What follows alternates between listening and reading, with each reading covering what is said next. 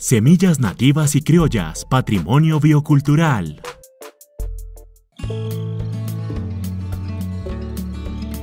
Las semillas nativas y criollas están amenazadas por todo, no solamente por el tema de los grandes monocultivos, el uso de agroquímicos, sino también por las semillas transgénicas. En este momento hay una gran cantidad de áreas que se están cultivando con maíz transgénico en el país y eso también hace parte de las amenazas eh, que tienen los agricultores. Entonces no hay un derecho a tener, por ejemplo, semillas libres de contaminación con cultivos transgénicos.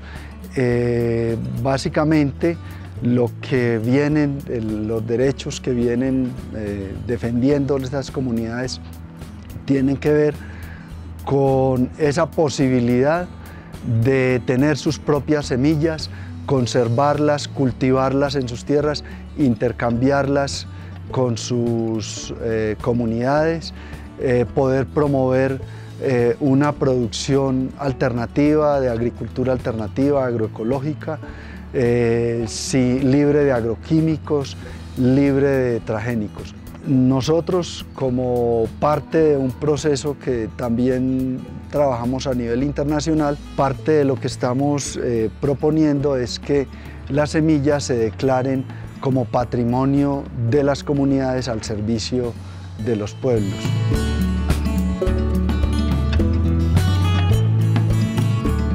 Para recuperar e incrementar las semillas nativas y criollas, productores agroecológicos le contaron a Vistazo Agropecuario cómo están trabajando para sacar adelante esta tarea.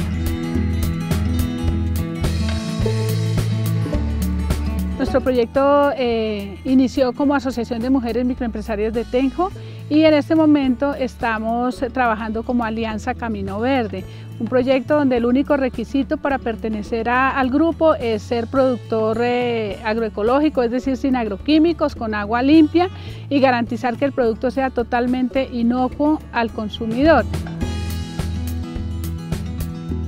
Estamos direccionando el proyecto a recuperar eh, muchas eh, costumbres ancestrales, obviamente muiscas, eh, buscar eh, eh, algunas semillas, mirar cómo recuperamos una papa nativa, cómo recuperamos la quinoa, que la quinoa nos ha ido muy bien en el proceso de recuperación, cómo recuperamos el consumo del yacón, las variedades de frijoles, hay infinidad de cantidad de, infinidad de, variedades de frijoles y estamos sembrando en la mayoría de, en todas las huertas esos frijoles que ya están en extinción, también el maíz. Y también en algunas huertas estamos buscando eh, hacer eh, el tema de los pagamentos y otras cosas más espirituales muiscas que me parece bellísimo y que hemos venido investigando y nos ha venido llegando información a través del, del tiempo. Las semillas se conservan en comunidad y se intercambian al igual que los saberes. Pues es muy bonito el ejercicio que hemos hecho en, estos tiempos, más que todo, y es, y es lo que hacíamos antes, ¿no? La economía del regalo. Yo tengo, yo me acuerdo que mi abuelo sacaba trigo, mi abuela, y le llevaba al vecino y él le llevaba las mazorcas que sacaba y el otro le llevaba las papas y siempre había abundancia porque todo era un compartir. Entonces nosotros seguimos trabajando mucho, ¿sí? A partir de las semillas, ¿sí? Manejamos un pequeño banco de semillas donde compartimos semillas nativas y truequeamos y la idea em, pues es eso, ¿no? fortalecer, fortalecer esos vínculos. ¿sí? Yo creo mucho en, lo local, pues si no, nos, si no nos unimos nosotros y si no trabajamos en unión, pues es muy difícil. Realmente el, tema individual yo creo que ya está pasando eh, a un segundo plano y estamos entendiendo que, que la cosa es en comunidad y todo. Aquí tenemos no solo una sola variedad de maíz, sino que tenemos múltiples variedades, entonces además de, pronto el amarillo y el blanco, también hemos tratado de propagar variedades nativas, entonces maíces rojos, morados, negros, porque digamos, parte de uno de los principios de la agroecología es la variabilidad, también es articularnos con personas que son guardianes de semillas, divulgadores de, otras especies propias de aquí del altiplano. Aquí por ejemplo podemos ver una papa que parece papa criolla, pero es roja. Nos tocó irnos hasta una vereda alejada y sí de la sociedad que queda en la punta de la montaña, donde logramos encontrar estas papas que son nativas. Nos las regalaron, nos dieron más o menos una manotadita de cada una.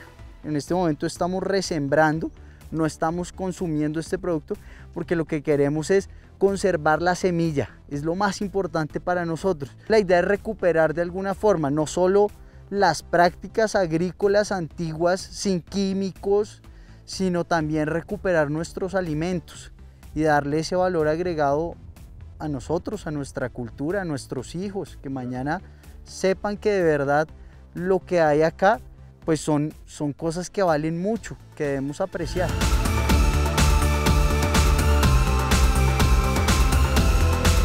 Agrosavia cuenta con un banco de conservación de semillas asexual, cuyo principal objetivo es conservar, mejorar y propagar semillas y proveer de material vegetal con calidad fitosanitaria a investigadores y agricultores del país.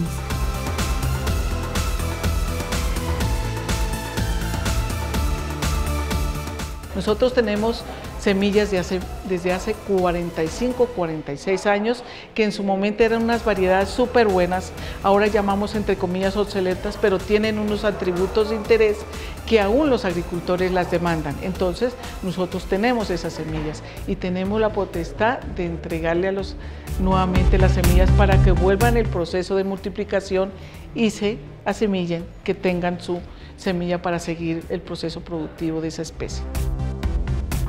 ¿Qué más que la papa, que es uno de los alimentos fundamentales de la canasta familiar y de nuestra dieta?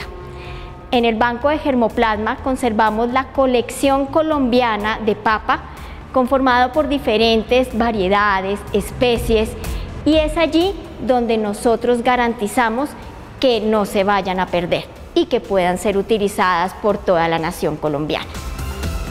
Tenemos gran cantidad de papas nativas de todos los departamentos, es una colección que se ha venido formando a través de colectas desde el año 1936 y que a partir de su creación y su desarrollo y, los procesos de investigación, de caracterización y de conocimiento de la variabilidad genética de papa, se han venido desarrollando múltiples variedades eh, importantes a nivel comercial en el, en el país. Las semillas deben ser consideradas un bien común, un derecho, un patrimonio de las comunidades.